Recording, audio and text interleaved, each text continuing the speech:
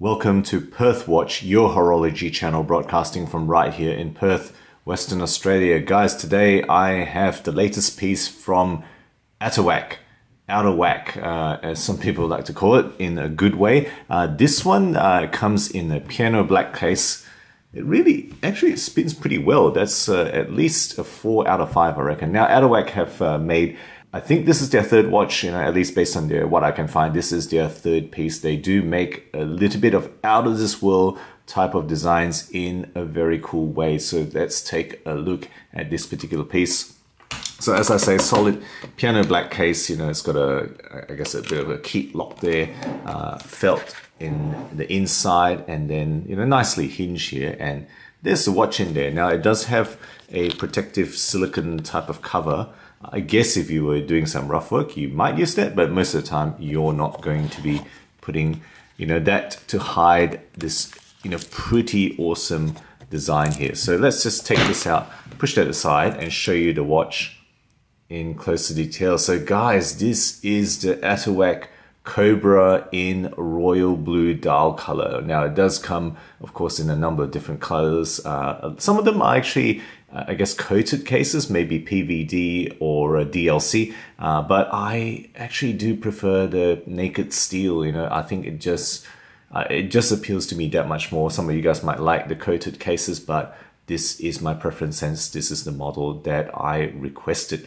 Uh, now the retail uh, is 1999 1999 USD. You do get a 15% off signing bonus, I think, right now, if you just sign up on the Atowak website. So straight off, uh, it's about $300 off if you do that. So, you know, it, keep in mind that's the type of pricing range that is in discussion for this particular watch. Uh, now the watch does come with two straps. It does come with this uh, blue leather strap as well. I'll discuss that in, uh, in a little bit later in the video.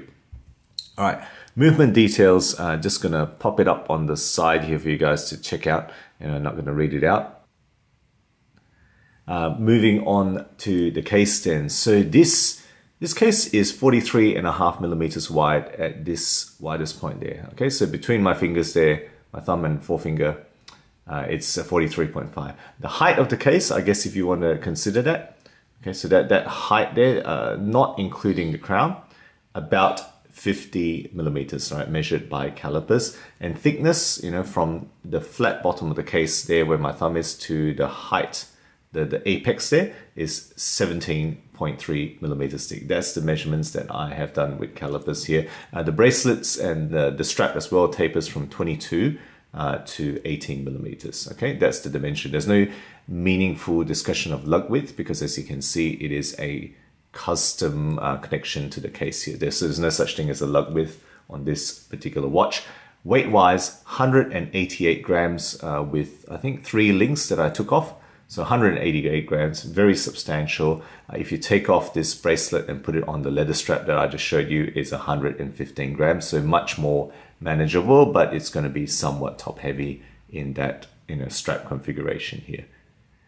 Finishing wise, okay, so finishing wise, you can see hopefully is visible here. On the top of the case, it's longitudinal brushing, uh, and then it transitions to polish on the bevels, right? The beveled surfaces like this one here, the front bevel, all the angled bevels here, nicely done is, you know, high polish, long brush on the side, and then polish on the bottom bevel that you can see there and transitioning very nicely, I have to say, onto a bit of a bead blasting finish onto that windowed case back there. Just a little window just to show a bit of the movement. Probably not entirely necessary, but hey, that, that's the little touch that they have gone for. Uh, and just to mention that, you know, it's got carbon fiber inserts here, right? Just a little bit of coolness here. You can see right? That's carbon fiber right there, that variegated lighting that you're going to see reflecting off that material.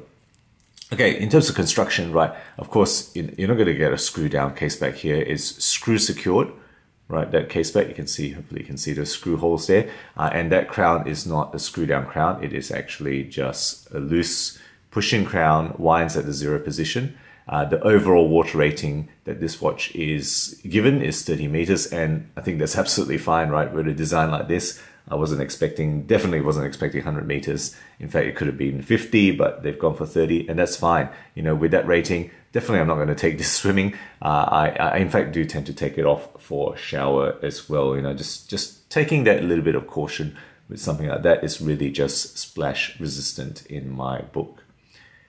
Okay, moving on to this, you know, rather cool dial here. So what we have here is what they call a three-dimensional copper and aviation aluminium material uh, dial with Geneva stripe decorations. You know, that middle part, they've called it Geneva stripes. I guess it is. That tends, tends to be a movement decoration, but hey, you can do it on the dial as well. Why not? It's got 120 degree minute track at the bottom, of course. You can see right there as you've been observing this watch. Uh, and the arms, these hands, you know, they're really a hyper engineered set uh, of triple armed handset, right? It's just an hour indicator really on the hands and then uh, it's got the minute as it swings around the bottom arc of the dial here. I'll try to put a video in here to, you know, kind of demonstrate the engineering and the way the hands work as well. Uh, in terms of Loom, it's got BGW9 uh, on the hands, right? Those hour readouts on the hands, as well as that 120 degree arc uh, minute track at the bottom and the Atowak logo through the little window you can see uh, up the top of the case here. Okay, Loom shot, of course, to let you see how it might glow in the dark. Not the most fantastic loom, uh, but I guess it doesn't really have to have that. All right, in terms of covering, right, you're getting flat sapphire crystals. Okay, so that, that big window at the bottom, flat sapphire, that one at the top, flat sapphire as well. Uh, not to mention that, that the case back window as well is also a little oval or roundish uh, sapphire uh, crystal there. So three sapphire windows on this watch. Moving on to the straps and bracelets then. So what, you know, what, what do you call this? I reckon this is kind of an engineer oyster. I, I, I reckon this is an engineered oyster. This is what I'm going to call it. Not exactly an oyster style. Three piece per link, of course, solid stainless steel bracelet. It's got screw connections uh, hopefully you can see uh, the screw tops, you know, as, as you see on these links here, right? Screw adjustment uh, and a butterfly clasp release. Some people uh, would lament that a little bit and some people really don't like that because you have no micro adjust capability.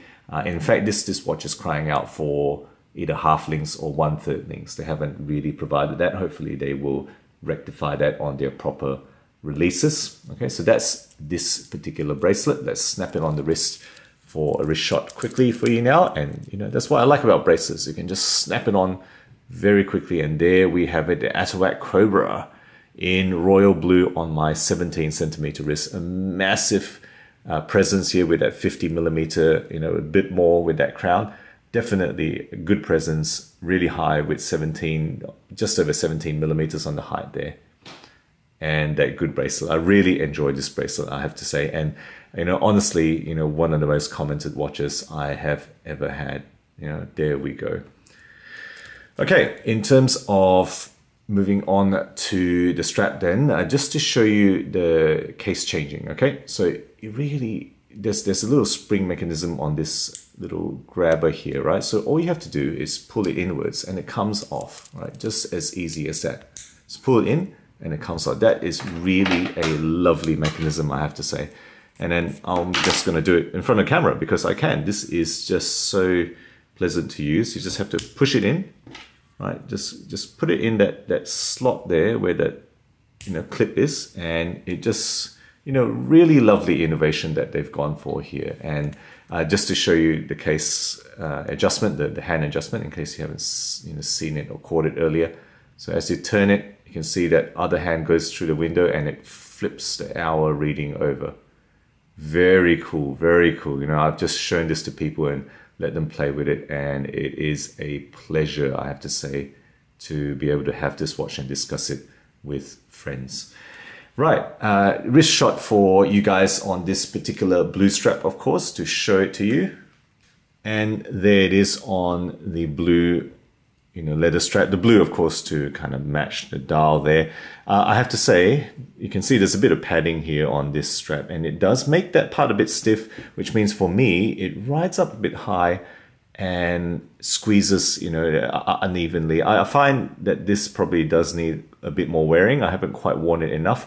So at the moment, because of the way it sits, a little bit stiff on that part there, it is not uh, as enjoyable as it as you know the bracelet has been for me. You know, in terms of this strap, it really is just a blue genuine leather with stitching, right? Pretty nice blue, I have to say. Quite quite a quite a bright blue there, and it's got uh, angular polished hardware, pretty nicely done to match the case. You know, definitely not an OEM stuff there. They've really kind of engineered this entire watch. So what have I loved about this? What are the real, you know, things that I've enjoyed?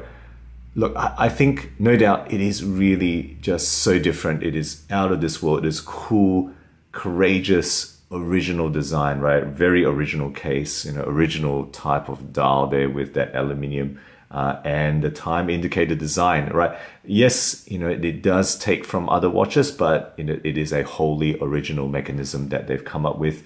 Uh, and it is utterly modern and it is quite unique. It is a super conversation starter. This, in living memory, this is the most commented watch I have ever had. You know, it, I've just worn this for about, I think, 10 days now, and there's no shortage of conversations, people looking at it and going, wow, that is a that's a pretty cool looking watch. What is it? And you start conversations. It's just been a joy in that way. If you enjoy talking to people about watches. Specs, right? It's okay, right? It's excellently done in terms of the case. Very, very well done. This is, I think, on par with anything else that I've seen in terms of case finishing and fit uh, on a $2,000 watch. Uh, I think this can go toe to toe with anything out of Switzerland at this price range. That's that's my feel of it. Uh, the bracelet I think is very good. Clearly not just an OEM off the shelf bracelet, right? They've done a pretty good job there. Uh, and sapphire crystal and a Miyota 9000 movement. Uh, the the strap is take it or leave it. I think I really enjoy the bracelet more personally. Uh, in terms of weaknesses, you know, any weaknesses, I think as I mentioned, the bracelet does need, you know, half or two third links. It, it, probably doesn't fit very, very well. Many people with, you know, link size that much, if you're going to have to adjust that much, some people are going to fall in between uh, those sizes. And overall, of course, this is not a watch to tell the time quickly, nor precisely. There's no seconds hand here, right? So if that's what you need, this is not the watch you're going to go for, right? You're not going to be able to glance at this and grab the time very quickly. Uh, loom wise, I think I mentioned this with the Ettore design. It's slightly compromised because you can see if you're going to be shining a light on this or exposing this to light, only some of the numbers will be charged, right? Not all the numbers will be charged, so you won't be able to see the time, you know, after a little bit of while. The loom is not the best anyway. Uh, overall, you know, the big, big question, of course, is the value proposition, right? 1,999, so pretty much $2,000. Uh, is this a watch that will go? You know, the big question in the challenging market like this is, is the uniqueness of this design enough uh, to make this a success? Look, I reckon they have done a lot of work, right? Wholly original stuff, you know, a lot of modification in that Miyota there. It is definitely, you know, not just a plain movement. They've had to, of course, change it so that those hour hands rotate every three hours, not one hour. You know, a lot of work you can, you know, obviously appreciate straight up that have gone into this. So is it worth $2,000? You let me know. You know, note that yes, it does, you know, take after the Urwerk, uh, you know, UR 120, for example, and I'll put a shot right here for you to appreciate you know, how similar or not it is to the Urwerk. And Urwerk wants uh, six figures, right? over $100,000 for their UR 120. Yes, that watch has a lot more other stuff in it, but hey, you know, it, it's got this kind of similar wandering hour look. Let me know if you think it's worth it. Uh, I reckon there is a lot of quality, a lot of work. So, you know, I, I wish them all the best. You know, hopefully this will indeed be a success and we will see more from Atowak. So guys, there you go. That's my review of the Atowak Cobra in Royal Blue. As always, let me know your thoughts below and I will catch you guys next time.